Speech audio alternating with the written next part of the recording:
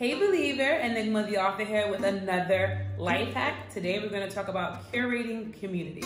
So one of my favorite things about life and God and the way he has set us up for success is that he has built us to be able to be interdependent with other people who are like-minded, right? And so you go further when you have a group or a tribe that's become like the clicky, trendy thing to say to go with. And so as Christians, a lot of the time we rely on the church I also want to introduce you this idea of creating like a small group among your peers that challenges you to maintain your goals and pushes you to become the best version of yourself.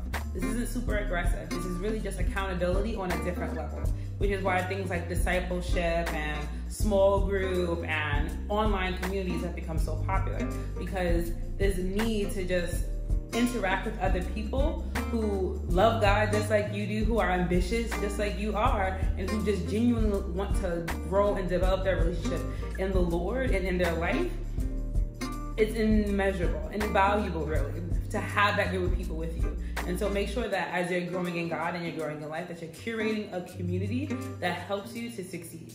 Don't forget to be great and to stay humble and to follow me as a follower Christ.